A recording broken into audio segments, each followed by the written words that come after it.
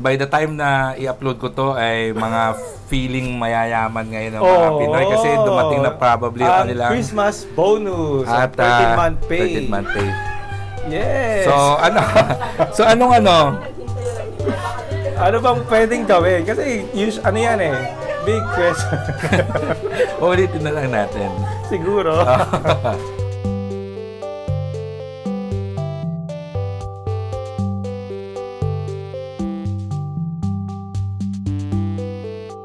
welcome to another episode and uh, Yes. by the time na i-upload ko to, I'm sure Mm. maraming pera Mucho, ngayon. feeling no? mucho.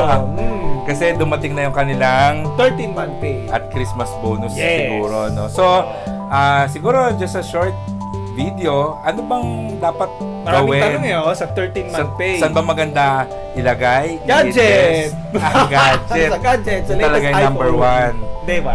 Hindi, wag, Ah. hindi naman. De, pero ano ba dapat ang ginagawa sa 13th month pay? Ako, Or sa Christmas bonus? well, ano yan, pinag-aaralan sa akin. Mm-mm. Number one. Kasi, of Walang course, isang sagot, di ba? Walang isang sagot Oo. kasi kanya-kanya naman ang pangangailangan. Ako lang is tingnan nila yung mga kailangan nilang pondohan next year. Mm. For example, a 13-month pay, pwede mong i-earmark yan. Kunwari, nagpapaaral ka, may anak ka. Mm-mm. So, pwede mong i-earmark yung 13-month pay mo for your child's tuition fee.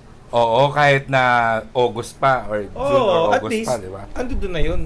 Hindi na nila iisipin, di ba? Oo, kasi pag ginastos mo lang yan, alam mo mangyayari, Ano? salary load. Pagdating ng ano, ng pasukan, Oo, di ba? Pagdating ng pasukan. Oo. So, kung ako yan, lalagay ko lang yan sa very conservative na instrument. Or like savings account lang. savings account or a money market fund kasi 8 months pa eh. Ah, okay. Pwede pa. Pwede pa. Or May- time deposit. Maganda na time deposit rate Kasi may ngayon. mga 30 days naman na time deposit, Oo. di ba? So, pwede yan pang tuition fee ng bata next year. Oo. Yun, earmark muna. Kung may matira, then sige, pag-usapan pa natin Oo. mamaya. Ah, sa akin, um, kung may utang sila, Oo. Lako, yun muna. they Di love you. They love, oh, sa mga, ano ha, may utang at may Oo, kasi. 'di ba, ah, syempre, it's a great way para yung mga may utang sa inyo. 'Di ba, it's a great way to make amends sa mga kaibigan mong hindi mo pinapansin kasi may Oo. utang ka, nahihiya ka. ma- So, Oo ayan. nga. And also pay off your credit card debts. Ah, yung mga yeah. usually Oo. mga naipon na yan throughout the year. So Oo, by December, problema, no? pwede mo na Oo, siyang yes. bayaran. Para you can debt. start the new year on a clean slate. Eventually, di ba? Kasi nabayaran mo yung iyong O, may naisip pa ako.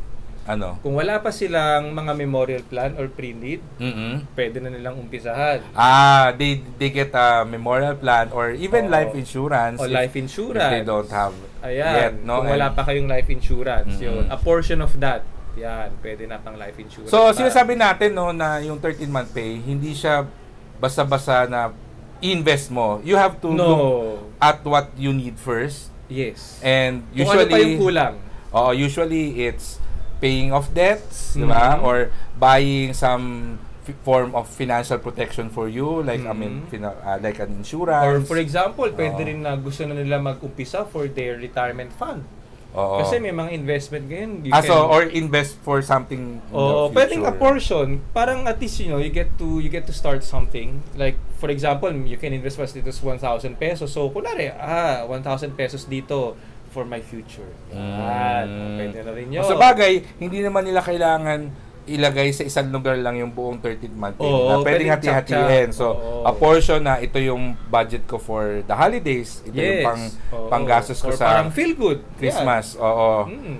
Ah, tapos ito eh para sa ano ko, short term na needs ko. Mga, Oo. yun nga, sinabi mo, mga pang-tuition Tuition ng anak ko or ganyan. something na kailangan kong ba- da- bilhin by next year or something. Yes. And then, a portion can be pangbayad nga ng Oo. utang or pwedeng In pang- relation sa ano, no, dun sa napag-usapan natin ito lang, that we have a video on that one, yung mga babayaran mo pa next year, like yung mga pangbayad ng driver's license. Oo, yung expense timeline mo, no? Yung expense Pwede mo timeline. tingnan kung saan siya pwedeng Oo. ah, pumunta, no? Oo.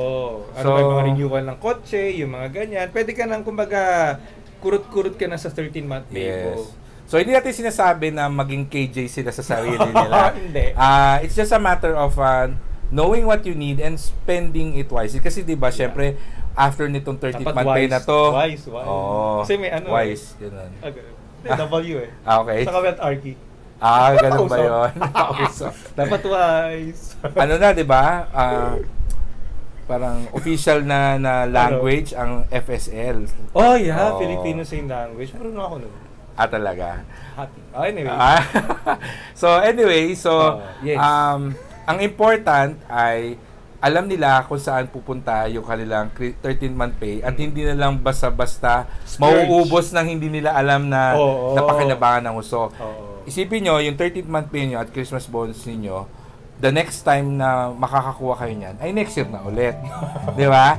Minsan lang Oo. talaga na makakuha tayo ng something extra.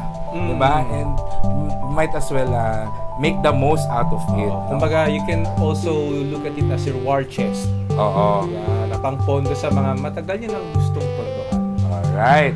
So, I guess uh, that's our short video for today. And uh, 13 month pay. yeah. So if you like our video, then please give it a thumbs up yes. and share it to your friends. Yes. And please don't forget to subscribe to our channel. Okay, bye-bye. Thank Bye-bye. you.